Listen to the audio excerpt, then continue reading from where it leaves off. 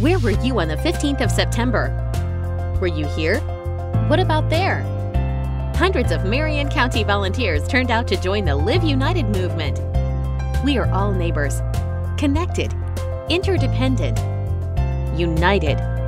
And when we reach out a hand to one, we can influence the condition of all. Do you live united?